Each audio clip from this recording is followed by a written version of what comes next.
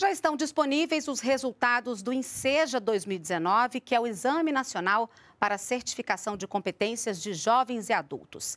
Quem tiver alcançado a nota mínima exigida nas quatro áreas do conhecimento e na redação já pode retirar o certificado. As secretarias estaduais de educação devem emitir o certificado.